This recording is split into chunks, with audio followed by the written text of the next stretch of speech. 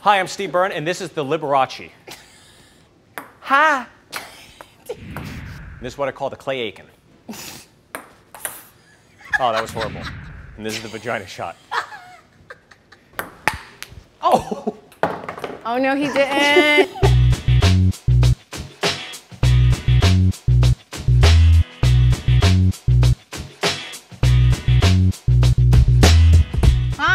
I'm Joy Bryant, and this is Across the Board. I am downtown LA, and I'm about to meet comedian extraordinaire and star of and Son, Steve Byrne. This is an Oprah interview. we gotta turn it up. We're gonna play some ping pong, drink some drinks, and have some fun.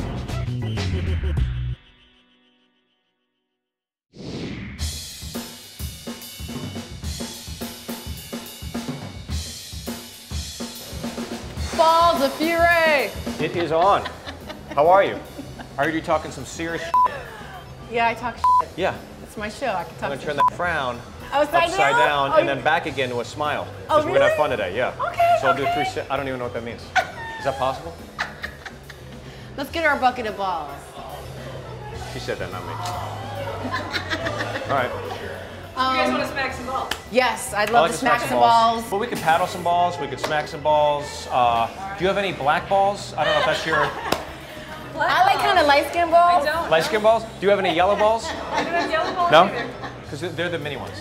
Oh, no. I said But that. I like I'm black Korean. paddles. You like black paddles? I like paddles? a black paddle. Is that code for something on the streets? So you're okay with white balls then? We'll, we'll go with the white. Okay. Yeah, we'll go with the white balls. Here we go. You ready? I'm about to set your ass on we fire. That's fine. Or we could just say you won.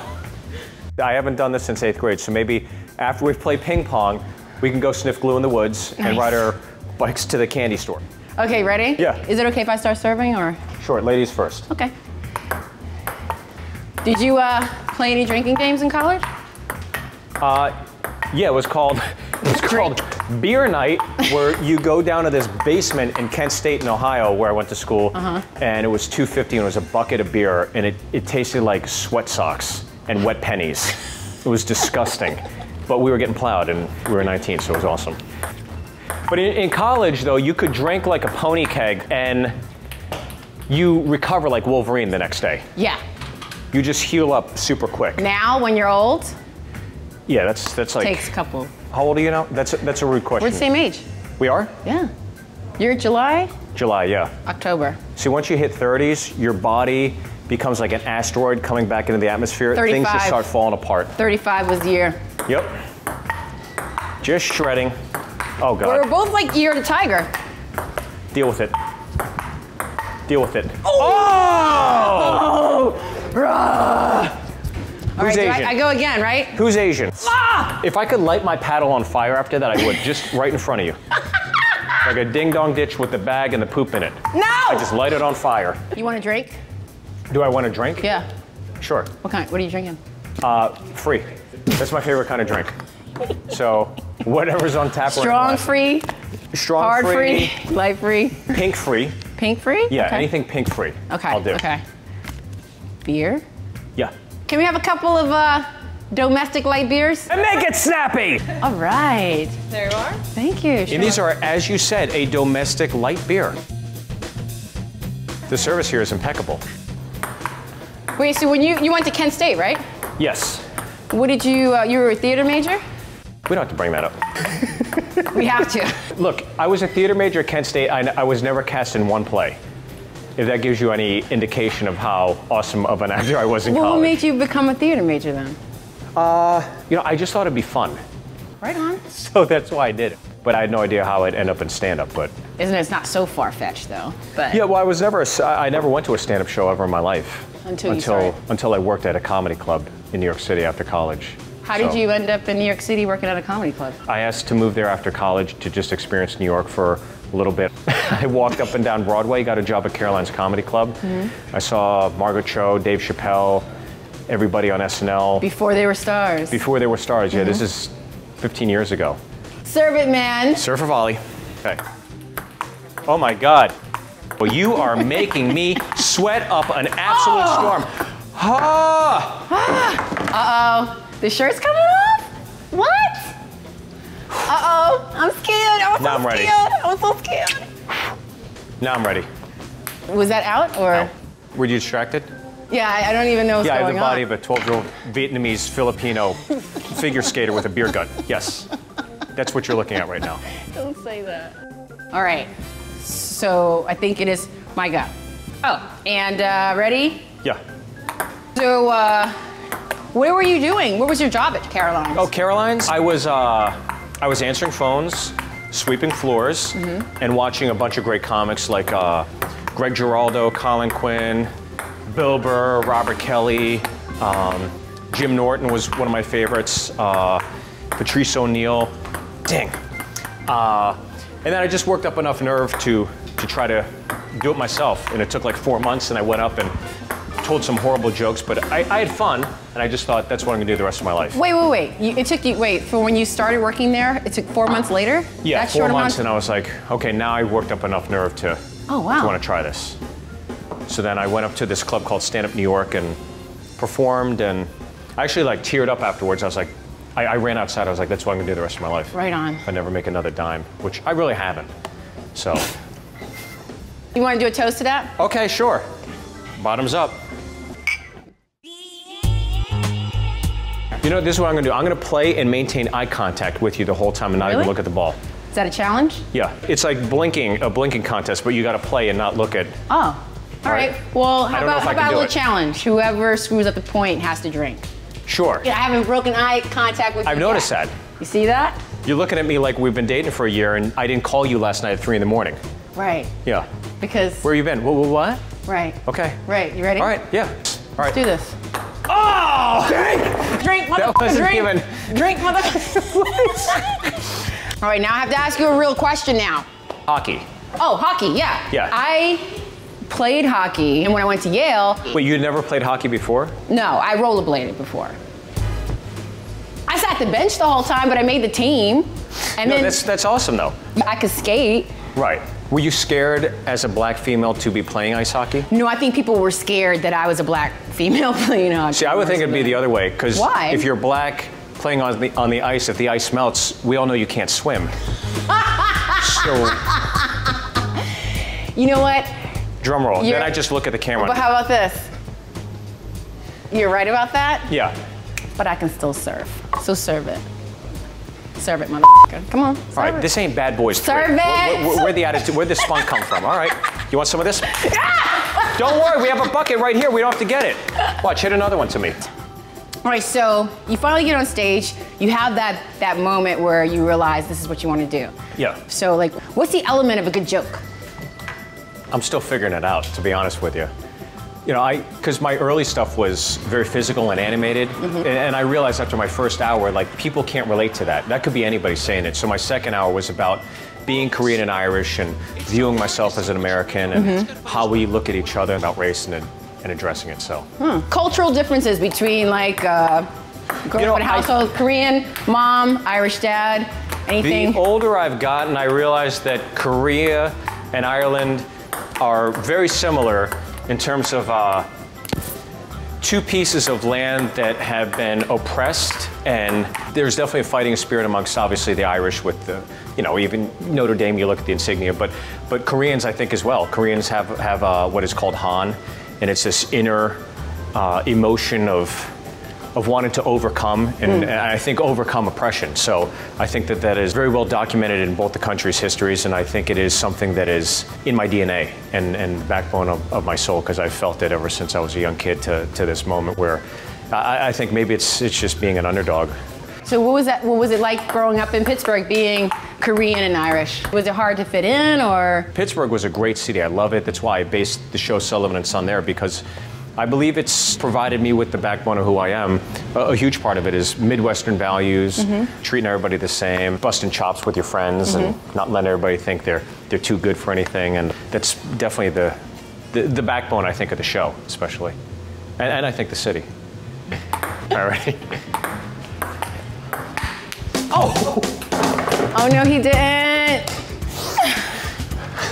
Did you just hit me in the pelvic region? Well, I think we, it's safe to say I, some some might might have had a difficult time finding it, but I did find her G spot. I literally nailed her in her clitoris. If you go back and replay that, I definitely got within the region though, right? Did you catch my face? Yeah. I saw your O face. Oh God, that was great. Oh my god. Oh my god. Wow. sorry, guys. I'm so sorry. I'll literally look at you. I'll look at you in the camera and go, "I'm sorry about that one." That Right down the barrel. Yeah. Shall we uh reconvene over here? Shall Oh. we move this party over They meant here? to your hotel. Yeah, yeah, yeah. You know, shall we move it to a more comfortable situation? Sure. Let me Like- get, let me grab what they what they call in the biz a brewski. Mm-hmm. After a, after a tough match, uh, I'll say kudos. Cheers.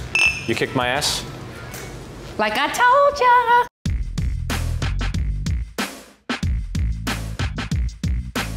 It's so weird how one minute we're playing ping pong and then all of a sudden we're just transported on this couch. It's so weird. You just magically appeared. Yeah. Mental. See? you see how I'm getting inside your mind right now? But watch how I freak it right now. This is like a you back. bad intro to a Keith Sweat song. That monologue you, You just not. gave What me. you know about Keith Sweat? 10th, 11th, 12th grade, Keith Sweat. Uh, like, can you recall a song? Uh, I recall, listen, I'm gonna tell you this.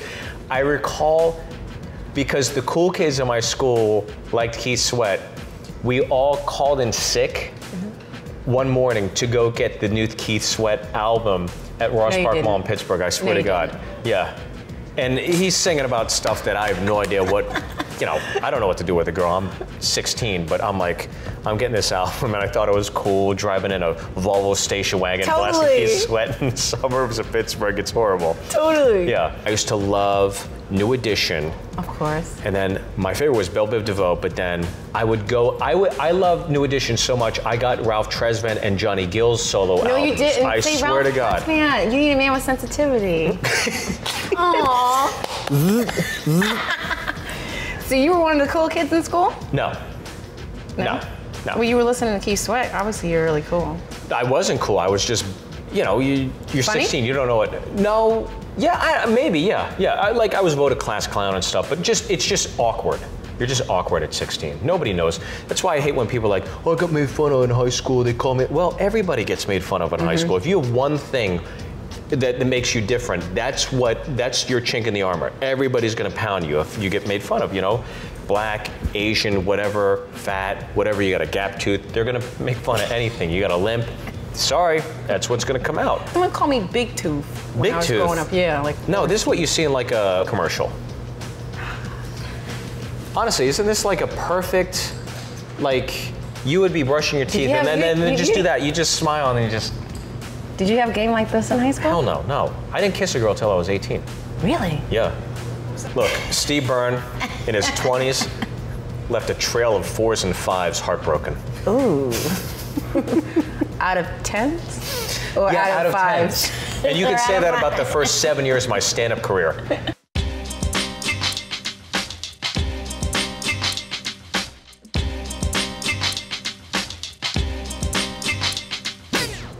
What's it like to bomb? What's it like to bomb? Yeah. Well, you've seen it for the last 30 minutes on this on this taping. That's what it's like to bomb. I don't know what you're talking about. I don't know what you're talking about. I'll tell you this: bombing is it is literally the feeling you get when you like somebody. Really, you have a crush on somebody, and and and you know they're going to be at the bar Friday night, and you go up or you you get all dosied up, and you you you know you go over to them, and maybe you talk to them for a second, and then you just see that guy that you maybe you like turn around and like, hey Carrie, and then they just start making out in front of you. That it, just an anvil drop gut your heart it just wrenched out and it'll stick with you for a whole day or two until the next time you perform and hopefully you erase that feeling by having a great set. But comics younger comics have always asked me when when when am i a comic? You know when i mm-hmm. kill when i get these applause breaks when i'm like no you're a real comic when you could go up on stage and feel comfortable bombing mm. and not you know, your hand is just like that. Mm-hmm. You're not shaking at all. You're not taken back by it, and it takes time to develop. But as a comic, you always got to get up on stage. You always got to write, and you just got to be comfortable with bombing because it is part of the business. It's Right. going to happen. And I, being a comedian in New York City, especially, I saw the best of the best trying out new jokes that they don't go well. I mean, Johnny Carson. My favorite thing that Johnny Carson did was bomb a monologue joke. And then his reaction, twisting it, making a joke out of him bombing. Mm-hmm. That's the best part of mm-hmm. the Tonight Show for me. That's that's what I always loved. But uh, bombing is just a facet of, of it. And so that's why I never had a problem with failure. I never had a problem with approaching any girl because I'm mm-hmm. like, on a nightly basis, literally six times a night in New York City, I would I would fail. Mm. So if I saw a girl on the street that I thought was cute, I'd go up to her and, hey, you want to hang out? You want to? I'm doing a show tonight. You want to? And she said no, I'm like, all right, well, Okay, it's just a part of life. So yeah, and I think failure's a, it is a, a, a part of life that should be more embraced because I think only through failure do you do you really appreciate success. And I think I think failure ultimately breeds success. Right. Being in this business and making it on your own, regardless of who's got your back, whether it's mm-hmm. agent, manager, whatever, just like hustling and producing it yourself. Yeah, I mean, look, in this business, and I think in any business or any any any venture you you choose to uh, pursue, no one's no one is going to give you anything on a silver platter. It's and you know you're in the same industry. It's it's totally entirely up to you. You gotta you gotta be your best advocate. You gotta be your best agent. You have to be your best manager. Because ultimately, at the end of the day, at some point, hopefully, knock on wood for anybody that's trying to do this or anything, it, it- you know, it'll be your face on the on the bus ad. So you got to make sure that whatever is represented uh, with that bus ad is, is something you're proud of. Speaking of bus ad, Oh, how did your show come about? My show came about because I've been friends with Vince Vaughn for quite some time, and I got to meet him because he did this uh, Wild West comedy show. It's a great documentary on stand-up comedy, and then one of the guys got sick during one of the shows when they were in Vegas, and I got a call from Ahmed Ahmed, and Ahmed recommended me to do the show to fill in the spot, and I went there and had one of those sets, you know, that you're like, oh, thank God that went well, especially in front of this guy. Nice, nice. And we just became fast friends after that. Isn't Swingers like your favorite movie? Swingers is one of my favorite movies. I remember getting the VHS copy in college, and my friends and I used to put it in before we'd go out drinking on Friday nights. Nice. And I never thought in a million years that I'd ever get to call that guy, who I thought, and to this day I think is the coolest guy in the world, my friend. He said to me one day, "You should write a vehicle for yourself because in this town, I don't know how soon Hollywood's going to develop mm-hmm. something that is perfect for you." So mm-hmm. I wrote the show, Sullivan and Son. I wrote a show because at the time I was living out of a suitcase as a stand-up comedian, 50 weeks a year, making a living doing it, but I wasn't happy. Mm-hmm. Professionally, I was I was doing great, but personally, I, you know, I, was, I had my friends, but I never saw them. Being a star of your own show, writer, producer, co-creator, you're wearing lots of hats. You're going into your second season. Congratulations. Mm-hmm. Thank you very way. much. Um, what it must have been really crazy the first season wearing all those hats for the first Yeah. time. So what have what have you learned from then going into your second season? Or Well- are you still like holy? I still am, to be honest with you, because every day's a blessing. tripping? Always. But what I love about the show is that it's it's multi-ethnic, Mm-hmm. it's multi-generational, and it's hilarious. And I feel it's a true reflection of the America that I know, and that's what makes me happy about really unique on television. It's. Yeah. Well, thank you. Had, had you met your wife then, or were you married then when you started writing this? I was dating her at the time. Oh. Yeah, and then we got married, and I got married right when the show came out and got picked up. No way. And so Time I is got everything, huh? I got married right when I could have gone out and used that card in LA. and I have regretted it since the day I look you in the I have regretted it ever since I got a show. I never got to have those years. You can't have it all, you know. You Nope. can't have it all. In the Rolodex, just just overweight Applebee's hostesses and Perkins. It was like I had Tiger Woods sloppy seconds. Goddamn shame. This must be tough. Yeah. In all seriousness, though, I do, I do love my wife. Uh, she is she is awesome, and I think that at some point, especially you know in this business, when you when you decide to live the life of a carny, it is important to have someone by your side, and I think that's more meaningful than going out and meeting someone in Vegas and praying to God that 30 days later you didn't get a phone call. My So at the end of the interview, we should both part ways like that, but go in a falsetto. When, when it's done, okay? Babu, do you want a drink? Uh, yes, please. Zachary's to the bar. Uh, you want me to make you something? Um, yes, what? I only know one drink. What's that? Uh, eh, Jameson and ginger. Ooh. Is that good? Yeah, that's fine. Is that is that your speed? Do you want a little dash? No, no, no, no. Okay, a little dash. These are these are these are what's called kisses. Kisses. Kisses. Stop kissing. Where do you see yourself in like five, ten years? Five, ten years. Where do you want to be? What's next? Um, Aside from the rest of the season. well, yeah, The season show? two of Sullivan and Son. I'll tape a new hour special uh, in the fall. Mm-hmm. Um, and then I'll probably end up developing like a cocaine habit. nice. Uh, I'll probably end up changing my mailing address to Spearmint Rhino in Las Vegas. Nice. I'll leave my wife and child Okay. for six or seven years. Mhm. I'll spiral. I'll end up marrying a stripper uh-huh. who has a hip hop album coming out, How old is she?